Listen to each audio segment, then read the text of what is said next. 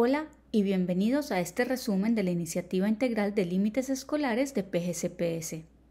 Mi nombre es Abby Zan y soy una asociada de WXY, parte del equipo de consultores que ha estado trabajando con PGCPS en esta iniciativa.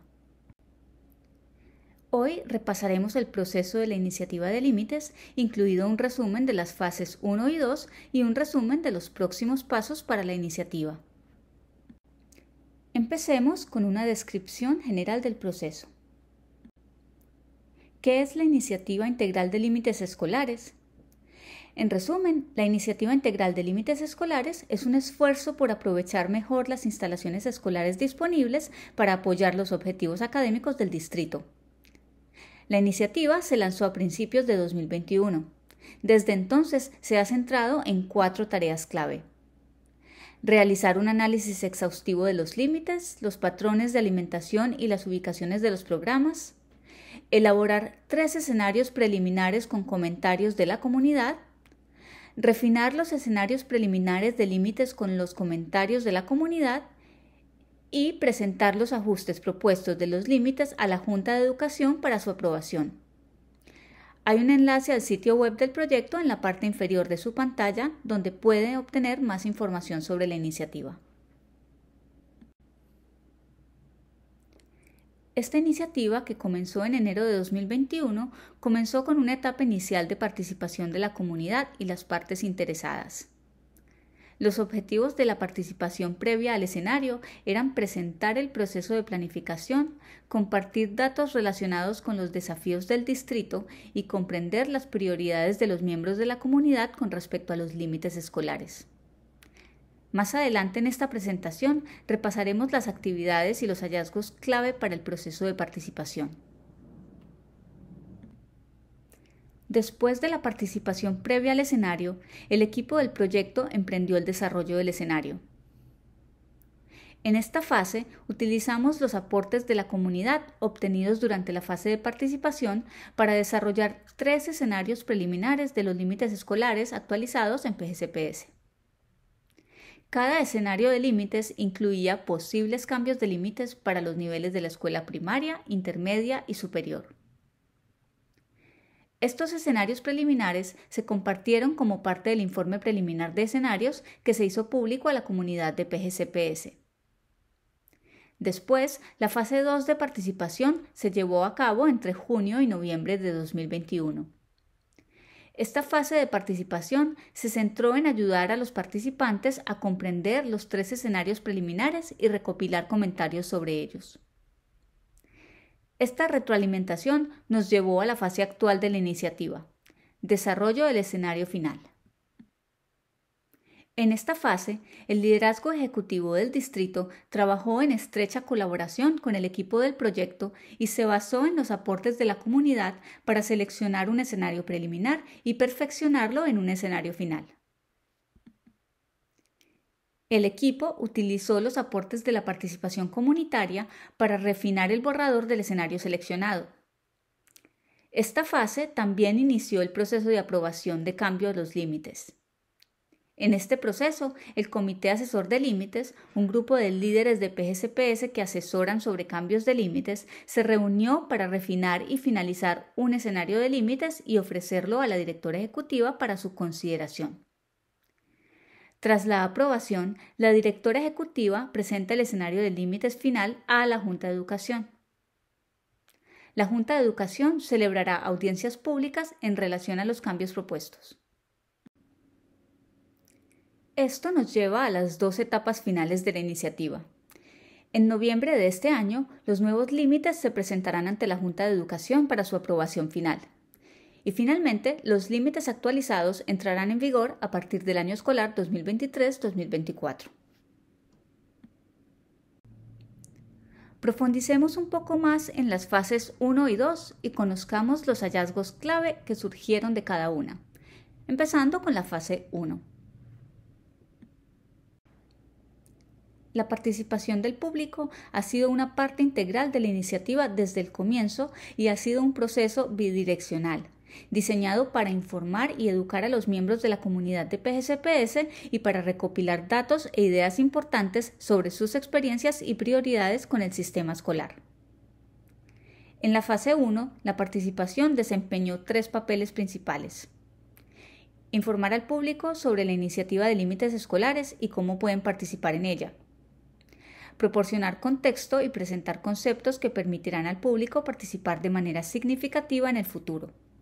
Con este fin, el equipo del proyecto proporcionó un resumen de las condiciones pasadas, presentes y anticipadas en PGCPS con un enfoque en la utilización y la capacidad escolar y comprender las prioridades de los miembros de la comunidad en relación con los límites escolares. Durante la fase 1 realizamos cinco conversaciones comunitarias con un total de 1.157 participantes. Dos de estas reuniones fueron facilitadas en español. Todas las reuniones se llevaron a cabo virtualmente e incluyeron discusiones en salas de trabajo dirigidas por facilitadores capacitados. En el transcurso de estas reuniones, los facilitadores registraron más de 750 comentarios de los miembros de la comunidad. El sitio web del proyecto recibió 7.880 visitas durante la fase 1. A lo largo de las conversaciones comunitarias de la fase 1 surgieron tres temas clave. Instalaciones escolares anticuadas y deficientes, los participantes expresaron muchas inquietudes sobre el estado de las instalaciones escolares de PGCPS, incluidas inquietudes sobre cómo la condición de las instalaciones afecta la moral de los estudiantes y la calidad educativa. Los efectos de la sobreutilización. Los participantes expresaron inquietudes sobre los impactos de los nuevos desarrollos en el condado y la utilización de las escuelas, así como preguntas sobre cómo la utilización afecta la seguridad, la salud y la calidad educativa de los estudiantes. Finalmente, aunque se queda fuera del alcance de esta iniciativa de límites, muchos participantes enfatizaron la importancia del acceso a los programas de especialidad, incluidas preocupaciones sobre el acceso equitativo a estos programas. Estas preocupaciones incluyen la distancia recorrida y las necesidades de los aprendices de inglés y los estudiantes de educación especial. Durante las reuniones comunitarias de la fase 1 surgió otro amplio rango de temas, incluidos el transporte y la distancia a la escuela, las implicaciones de la COVID-19 en las decisiones relacionadas con los límites escolares, el nuevo desarrollo del condado, el desempeño escolar, incluida la proporción estudiante-maestro, cuestiones de equidad, incluidas la equidad regional y la equidad para estudiantes con discapacidades y otras necesidades especiales, la seguridad y la protección, incluidas preocupaciones de seguridad relacionadas con el transporte y la distancia a la escuela y la sobreutilización de las escuelas, y finalmente, los programas de idiomas, incluido el deseo de ver más capacidad para los programas que apoyan a los aprendices del idioma inglés. Estas ideas informaron el desarrollo de tres escenarios preliminares de límites, estos escenarios preliminares se publicaron en la primavera de 2021 en el informe preliminar de escenarios, junto con los hallazgos clave de la participación y una descripción general del contexto del proyecto y los conceptos clave. El informe resumido de 17 páginas se publicó en inglés, español y francés. Y todo el informe de 119 páginas también se publicó en línea. Ahora revisemos los tres escenarios preliminares. Cada escenario preliminar tiene un conjunto único de objetivos y parámetros. Para el escenario preliminar 1, el objetivo clave es abordar los extremos de utilización y minimizar la rezonificación. Esto significa centrarse en los casos más graves de sobreutilización y subutilización en el distrito mientras se redistribuye la menor cantidad de estudiantes posible. Para el escenario preliminar 2, el objetivo clave es mejorar la utilización lo más ampliamente posible. Esto significa optimizar la utilización lo más ampliamente posible con una mayor tolerancia para la redistribución de los distritos de los estudiantes. Este escenario también busca reducir el número de salones de clase temporales en uso, en particular aquellos que están en malas condiciones. Asimismo, consolida a las escuelas primarias con un enfoque en mejorar la utilización. Y para el escenario preliminar 3, el enfoque es maximizar el número de estudiantes que asisten a la escuela en instalaciones renovadas. Este escenario garantiza que la mayor cantidad posible de estudiantes asistan a las instalaciones más nuevas y más actualizadas.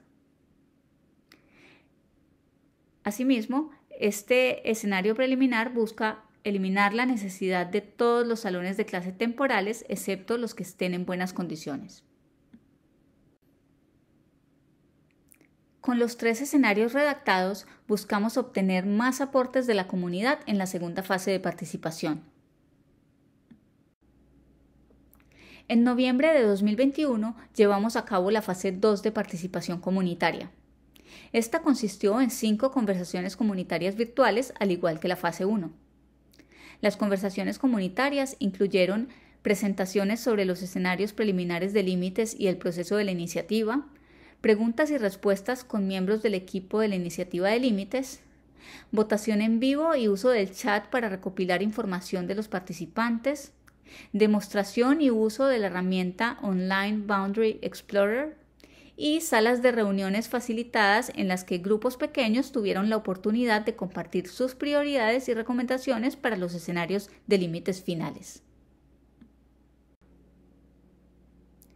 El explorador de escenarios preliminares de límites escolares es una herramienta en línea que fue parte integral de la participación de la fase 2. La herramienta permite a los miembros de la comunidad ver cómo los tres escenarios de límites los afectarían. Los usuarios pueden buscar escuelas por domicilio y ver los cambios de límites propuestos en los escenarios 1, 2 y 3, como se ve en la captura de pantalla de esta diapositiva. La encuesta de retroalimentación en línea también fue clave para esta segunda fase de participación. Como complemento de los comentarios obtenidos en las conversaciones de la comunidad, esta encuesta le dio a la comunidad la oportunidad de expresar preferencias e inquietudes particulares relacionadas con los tres escenarios de límites. En la encuesta en línea, el escenario 2 surgió como el escenario preferido por la mayoría de los encuestados. Aproximadamente un tercio de los participantes indicó que estaba muy satisfecho con esta opción y solo el 27% indicó que estaba muy insatisfecho. El escenario 1 tuvo la mayor parte de la insatisfacción. Un 35% de los encuestados indicó estar muy insatisfecho. En ambas fases de participación comunitaria, esta iniciativa involucró a 2.570 participantes en conversaciones comunitarias. La encuesta en línea y el formulario de comentarios recibieron un total de 1.948 respuestas. El sitio web del proyecto recibió más de 13.194 visitas y la herramienta en línea vio más de 4.500 usuarios únicos. ¿Cuáles fueron algunos de los puntos clave de todas las actividades de participación? Primero, la sobreutilización fue vista como la mayor prioridad para los participantes en general.